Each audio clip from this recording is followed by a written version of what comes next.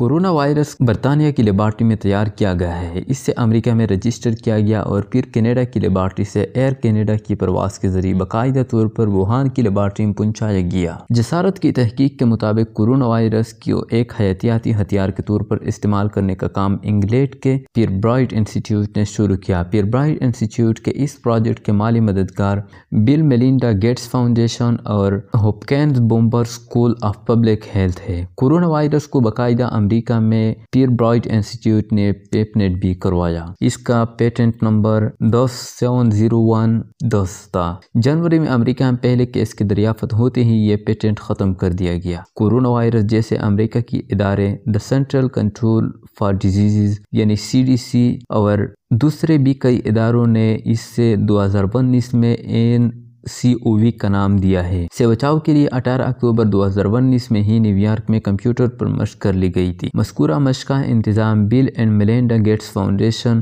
John Hopkins centre for health security نے World Economic Forum کے اشتراک سے کیا تھا۔ اس مشق جس میں پارلیمنٹ بزنس لیڈروں اور شبہ صحت سے تعلق رکھنے والوں افراد نے حصہ لیا تھا۔ اس عمر کی مشق کی گئی کہ کورونا وائرس کے وبا کی صورت میں، پھیلنے کی صورت میں اس سے بچاؤ کس طرح سے کیا جائے۔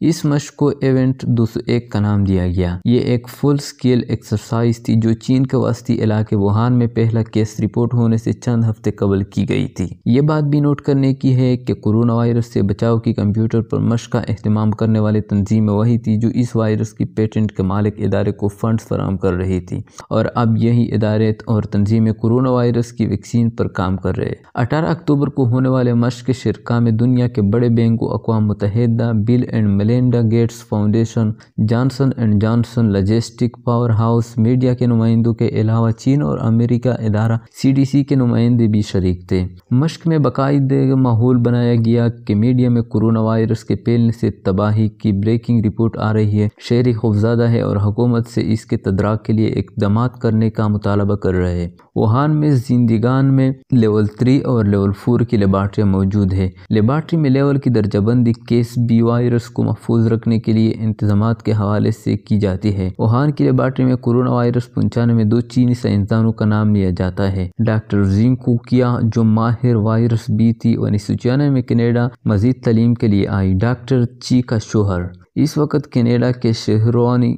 پیگ کی لیبارٹری میں بطور بایولوجسٹ کام کر رہتا ہے۔ یہ دونوں میاں بیوی ایبولا اور سارس وائرس پر تحقیق کام کرتے رہتے ہیں۔ گزشتہ جولائی میں C N B C news نے رپورٹ کیا تھا کہ وی پک کی لیبارٹری سے ایک چینی خاتون سائنسدان، اس کے علاوہ شوہر اور ان کے چند پوسٹ گریجویٹ طلباء کو حراست میں لیا گیا۔ اس خبر کے ایک ماہ کے بعد سی این بی سی نے مزید خبر دی کہ مذکورہ سائنسدان جوڑے نے ایبولا اور ہینفا کے وائرس ایئر کینیڈا کی پرواز کے ذریعے اکتیس مارچ کو چین بھیجے تھے خبر کے مطابق وائرس کی شپمنٹ کے لیے تمام قواعد و ضوابط پر عمل کیا گیا تھا۔ کہا جاتا ہے کہ اس شپمنٹ کے ذریعے کورونا وائرس بھی ووہان کی لیبارٹری میں بھیجوایا گیا ہے۔ سی این بی سی کی ایک اور فالو سٹوری میں بتایا گیا ہے کہ ڈاکٹر چین نے دو ہزار سترہ تا دو ہزار اٹھارہ کے دوران چین کے پانچ دورے کیے، جس میں چین کی لیول فور کی نئی لیبارٹری کے ٹیکنیشنوں اور سائنسدانوں کو تربیت فراہم کی گئی۔ یہ سائنسدان جڑا اب بھی زیر حراست ہے۔ کورونا کا پیٹنٹ وائرس، وینی پنک کی لیبارٹری، کے علاوہ انگلینڈ کی لیبارٹری سے اور بھی